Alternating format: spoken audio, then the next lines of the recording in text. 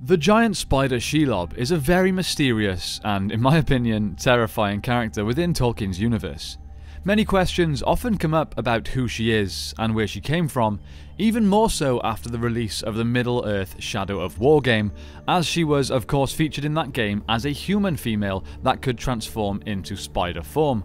Now, while that game is obviously not canon, there could be some truth in it. So let's take a deeper look into who and what Shelob is.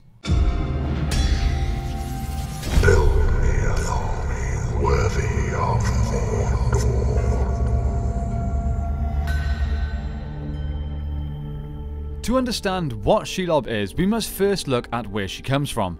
She was the offspring of the great spider Ungoliant, who is, as Tolkien described, an evil spirit in spider form. Not much else is told about where Ungoliant comes from, other than she is from before the world. She is actually one of the only characters in Tolkien's writings, along with Tom Bombadil, that does not have much of a clear background, or at least an explanation of how they came to be. Anyway, Shelob was one of her children, and they made their home in the mountains of Ered Gorgoroth, also known as the Mountains of Terror, which was a range of mountains in Beleriand. It's said that no one could pass through these mountains. The only person to ever do so was the hero Beren, who never actually spoke about his terrible journey. However, Ered Gorgoroth would not be the home to the spiders for very long, as the Valar had decided to attack Morgoth, in a battle so great that it sunk Beleriand, marking the end of the First Age. The battle was of course known as the War of Wrath. We will have a video about these battles coming very soon, so keep your eyes peeled. So, in the Two Towers book, when we first get a description of Shelob, we learn a few important facts. Tolkien wrote, There age long she had dwelt, an evil thing in spider form even such as once of old had lived in the land of the elves in the west that is now under the sea, such as Beren fought in the mountains of Terror in Doriath, and so came to Luthien upon the green sward among the hemlocks in the moonlight long ago. How Shelob came there, flying from ruin, no tale tells. For out of the dark years few tales have come. But still she was there, who was there before Sauron, and before the first stone of Barad-dûr. And she served none but herself, drinking the blood of elves and men, bloated and grown fat with endless brooding on her feasts, weaving webs of shadow, for all living things were her food, and her vomit darkness. Far and wide her lesser broods, bastards of the miserable mates, her own offspring, that she slew, spread from glen to glen, from the Ephel-Duath to the eastern hills, to Dol Guldur and the fastness of Mirkwood.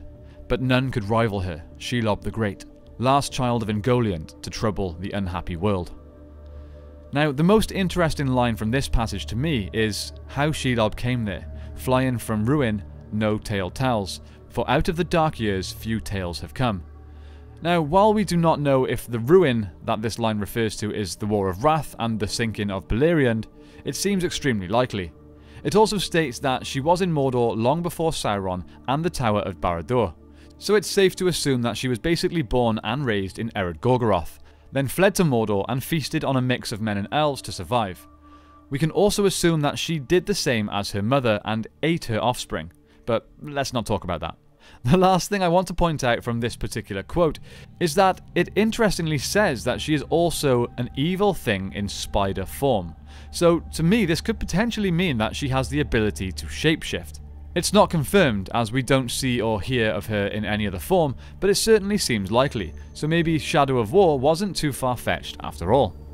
Now, when we take all of that information into account, we can get a rough estimate on her age. If she was born sometime in the First Age, she would be at least 6,500 years old during the War of the Ring, which would make her one of the oldest beings alive at that time. So, most likely due to Sauron's eventual arrival in Mordor, Shelob's supply of elves and men to feast on grew short. Fortunately for her, Sauron seemed pretty pleased by her presence at the entry to his new lands. What better creature to scare off any intruders than a giant spider? And as for Sauron, he knew where she lurked. It pleased him that she would dwell there hungry, but unabated in malice a more sure watch upon that ancient path into his land than any other that his skill could have devised. And orcs, they were useful slaves, but he had them in plenty. If now and again Shelob caught them to stay her appetite, she was welcome, he could spare them. And sometimes as a man may cast a dainty to his cat, his cat he calls her, but he owns her not. Sauron would send her prisoners that he had no better uses for. and report brought back to him of the play she made.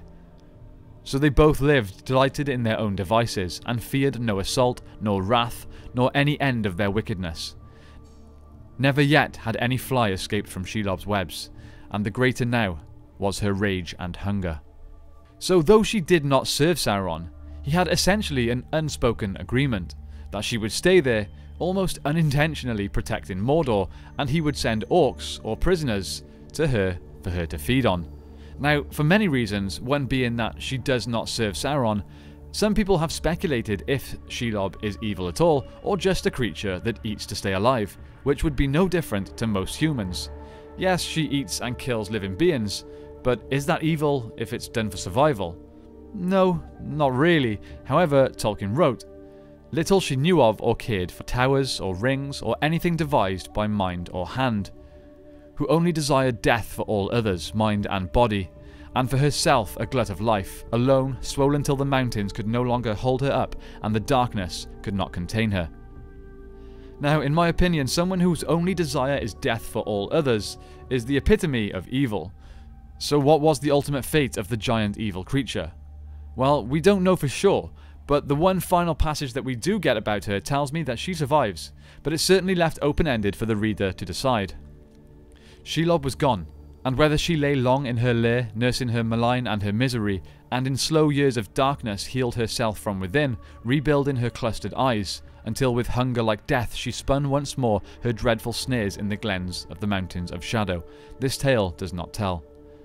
Now, if we compare her story and characteristics to her mother Ungoliant, then there could be another potential outcome for her.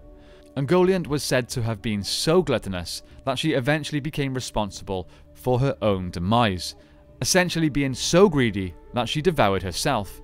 Now, if Shelob was partially blind and injured after her battle with Sam and maybe unable to successfully hunt for food, then perhaps the same thing happened to her. Who knows? I would absolutely love to know your theories though down below in the comments. My question for you guys today is this. Do you think that Shelob was actually a shapeshifter or do you think she was just a giant spider? Let us know in the comments down below.